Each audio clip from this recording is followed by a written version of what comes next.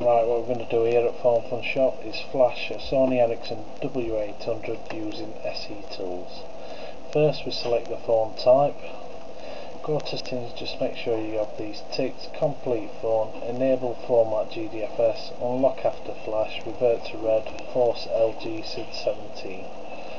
Go back to Sony Ericsson tab, my cable is on COM7, there we go, I'm just going to add the flash files now press add.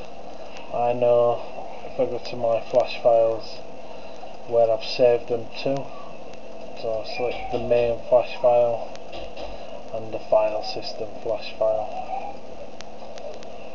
Alright.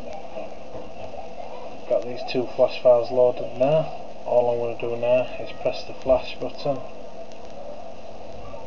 detected the phone it's initializing the loader this procedure now will take around 15 minutes to flash. And that's how you flash a Sony Ericsson W800 using SE tools